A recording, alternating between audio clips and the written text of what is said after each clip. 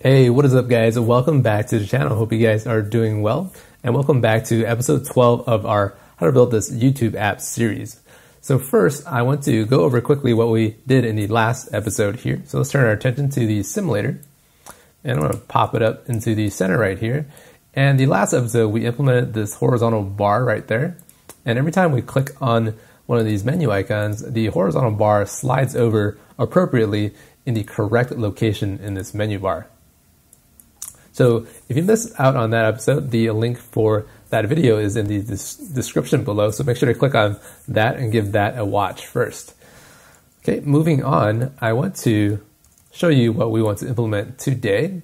And inside of my somewhat completed application here, I'm going to click on one of these menu icons and show you that it slides over the bottom panel appropriately depending on which icon you click onto in the menu. So that's what we want to implement today. And let's see, I'm going to shrink this down and bring it to the corner. I'm going to run this application here, and this is the current code for where we left off last time.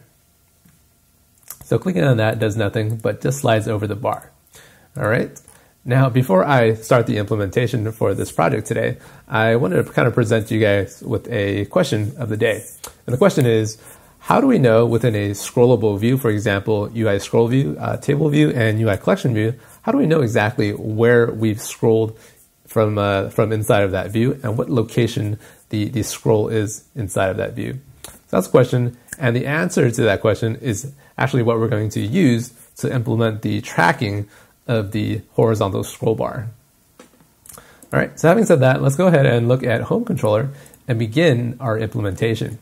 Now, I'm going to go ahead and tell you that the implementation is, uh, is a little involved, and the easiest way for me to actually illustrate what is going on is to comment out all of these collection view methods right here. And essentially, these methods provide us with this video cell and the height of each cell, and also the amount of cells inside of the collection view. And I'm going to comment that out and run the project right now. So what you'll see is a blank white screen for the collection view. And this is exactly where I want to start in order to kind of slowly build up on the actual implementation of the horizontal scrollingness of our uh, panel down here. So the first thing I want to do is return the amount of sections that my uh, menu or that my panel right here should contain.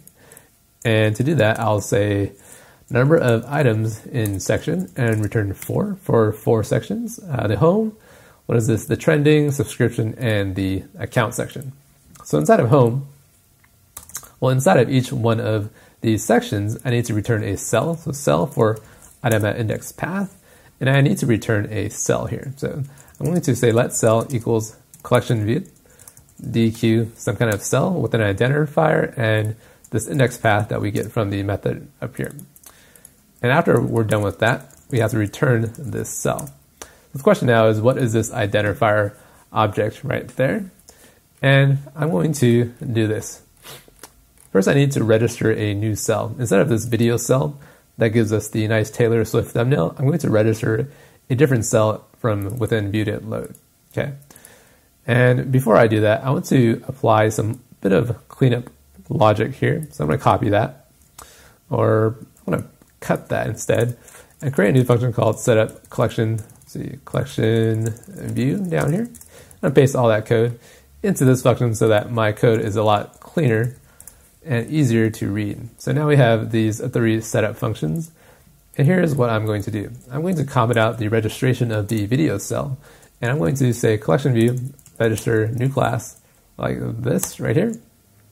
And this cell class, I'm going to use the default UI collection view cell class with a dot self to get the class and cell ID right here. So we don't have cell ID just yet. So why don't we create a string called let cell ID equals just this cell ID right there. This way we can dequeue this cell right on the bottom when we're calling cell for item at index path. So cell ID right there. And here we go.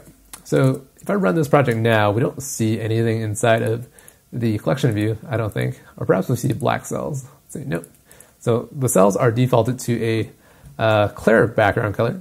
And if we set the background color to a UI color of blue, like that, the cells will appear as soon as this application gets up and running. Cool. So there we have it. I didn't lie. We have four cells that are placed in kind of this horizontal layout. So where do we want to go from here? Well, I want to provide the actual size of each one of these sections right now. And we do that by overriding the size for item at index path method. And we need to return a CG size make of view frame width. This will give me the entire width here. And I'll get the entire height by specifying view frame height. So running this now, we'll get the entire section to be filled out by this blue cell here.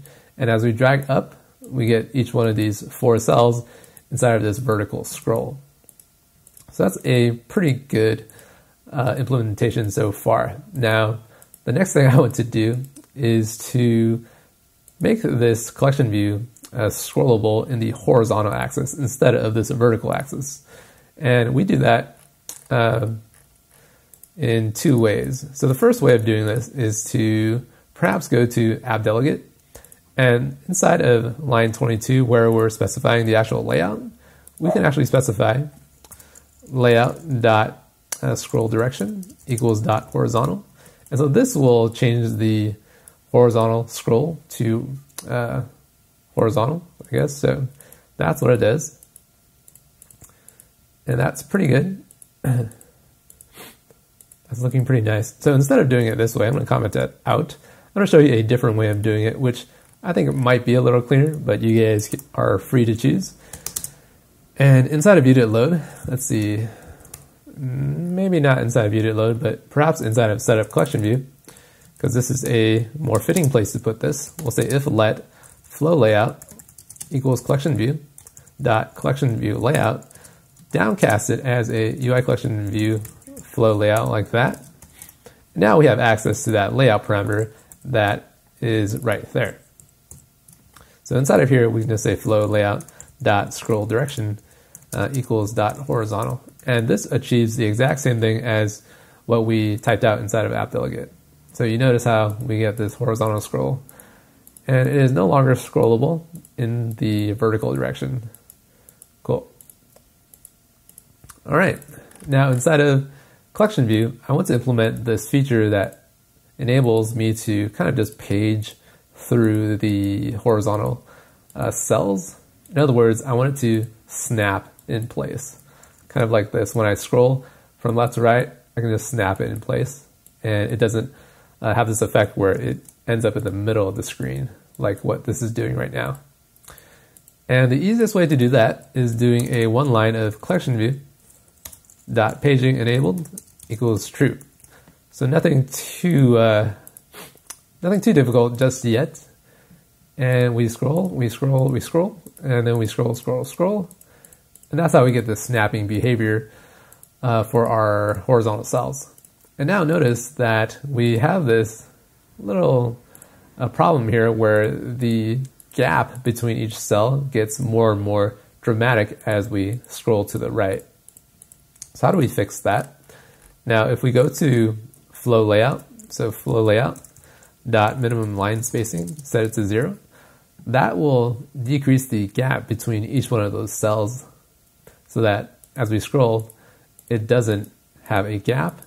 And that's kind of how we fix that little bit of a problem between our cells. But now we've kind of introduced a different issue where I'm looking at the scroll bar down here and I see that it's scrolling, but it's really, really hard to tell which cell that you're on. For me to fix that, I'll go back to cell for item at index path here, and I can set the cell uh, background color Instead of blue, I can set it to a different color for each one of these cells by specifying a colors array right here. And what is this array? Well, I can actually do uh, this declaration in a few different ways. And I'm going to show you a neat trick that you can apply in Swift. By specifying the array uh, type like this, we can actually just do dot blue color like this, and that works. So dot green color like that. Or we can just specify UI color dot whatever color. So UI color see purple color. Okay, so you can either specify the dot version of this or the entire uh, class name and then the dot color. And that's how that works. So cell dot background color will now equal to colors and index path dot item for each one of these colors. So in other words, each one of these cells will take on these colors inside of the array. So as I scroll over, we can now very easily see which cell uh, we are on. So that's pretty good. Now the next question is, what do we want to implement for this horizontal bar there? In other words, how do I make it so that every time I scroll to the next view, the horizontal bar kind of scrolls along with it. So that's the next part. Ah, good old water. All right. Now, in the last video, if we go ahead and open up this menu bar file, we take a look at what is going on. So every time we click on one of these buttons over here, we execute this method called uh, did select item at index path, and then we modify this horizontal bar left anchor constraints constant to be a value that matches wherever this icon is. So that's kind of how this horizontal bar works. And this property here, this constraint, is accessible from kind of outside of the class as a property of menu bar. So that's kind of how we are going to implement this uh, this swiping behavior so that the menu or so that the horizontal bar will follow along with wherever we're swiping to, like that. So like that. And so when I swipe here, I want this horizontal bar to scroll over to the next icon.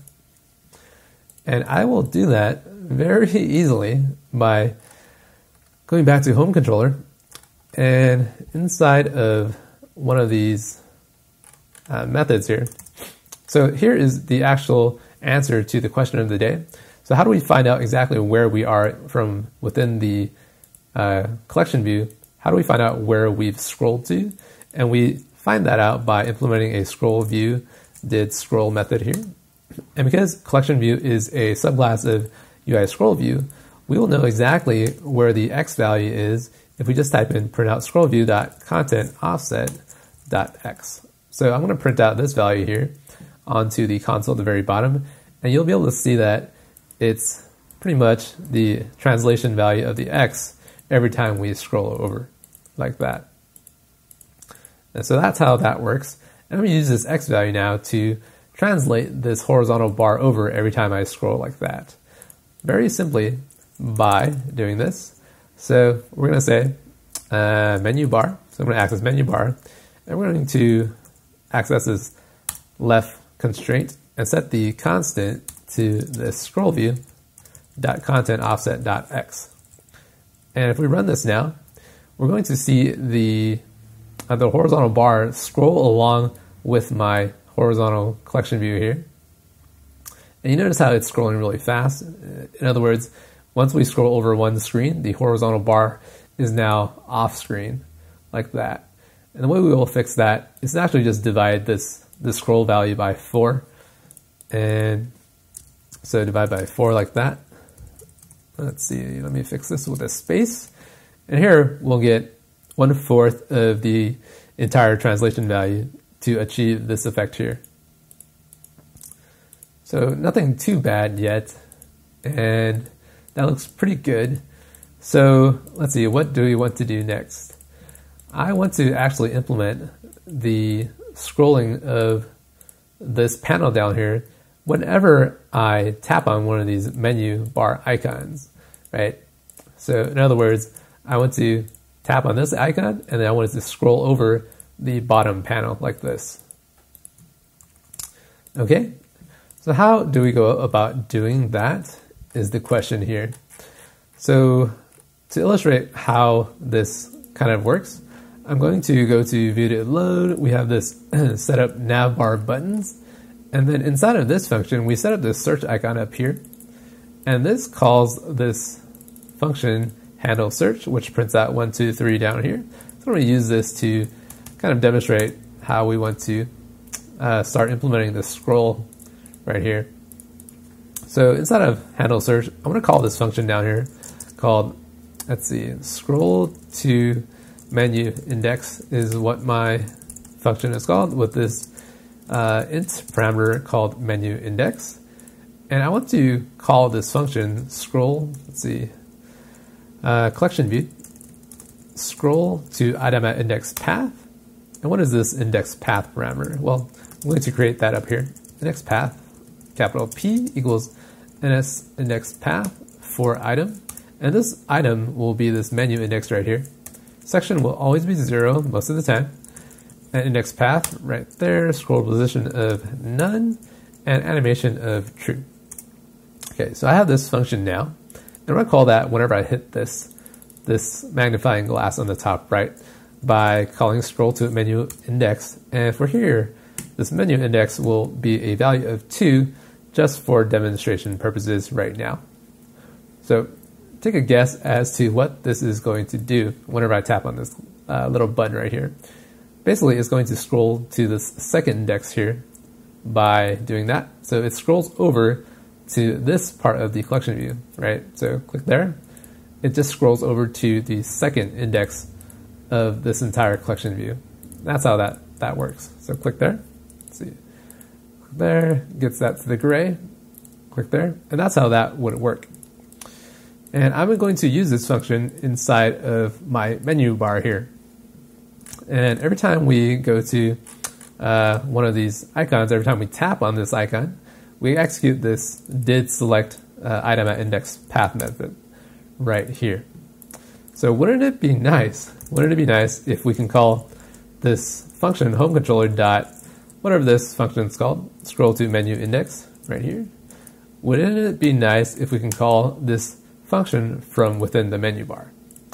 Now, I'm going to show you how to do that very easily by going up to the top of menu bar and I will create a reference to a home controller object like this, specify, uh, specify that as a home controller optional like that, and now that we have a reference to a home controller, we can call that right here. So we can actually just call that home controller.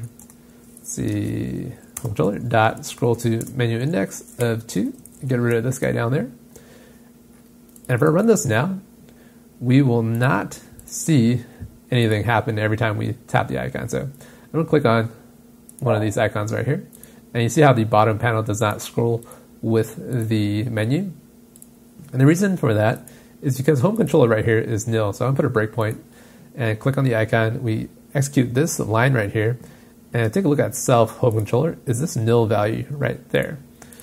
So we need to actually set a reference to home controller in this menu bar object by going back to home controller and see this little bit of code where we declare a menu bar, we can simply say menu bar dot home controller is this self right here, and ref uh, references this entire controller with this self. Now the compiler does not like this, and we will fix it by typing in lazy var. So this makes this block down here, uh, it makes self accessible from within this closure block. That's what lazy var does. And what do we do now? So running this project, every time I tap on one of those icons in the menu, the bottom panel will scroll to the second index. So this does that. And the tap goes to the gray. Goes to the gray, right? And the reason why it goes to the gray is, let's see, it's because we've specified in menu bar this hard value of 2. So instead of doing the 2 here, we'll type in index path.item instead. And now the, uh, the controller will scroll to whatever menu icon we tap on, like that. So it's blue, green, gray. So this will go to the gray, and this will go to the green. Just like that. So pretty simple. And now we need to fix this issue where this, this horizontal menu bar right there, uh, the behavior is a little wonky it doesn't exactly appear in the right location every time we start the animation. And we fix that by easily commenting out, see all of these lines right there. I'm to run the project one more time to show you that we no longer need the animation. So that is what happens now. That's pretty smooth. I like the animation, and the behavior is pretty much exactly what I want right now. So the reason why we don't need the animation anymore is because the home controller actually keeps track of the uh, pretty much the the menu, the, this little horizontal bar with this constant value inside of scroll view did scroll. So that's what happens. All right, hopefully not too confusing, but that is how this scroll bar works. So the next question is, how do we actually get it so that whenever we scroll from left to right in the collection view, how do we get it so that the menu bar actually highlights the icon from within uh, the menu? In other words, I want to highlight it like this, and I want to highlight this flame icon every time I scroll over to the screen side. And the effect will look like this when I scroll over. It highlights the correct icon like that. And like that, and like that. So if I go back to my app right here, you notice how it doesn't highlight the icon. And this is probably the trickier part of today's video tutorial. And I will do that by figuring out where this uh, where this scroll view is actually going to land. In other words, I will find out the target of this content offset.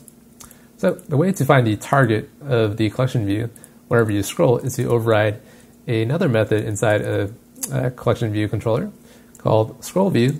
And you can just type scroll view target like that.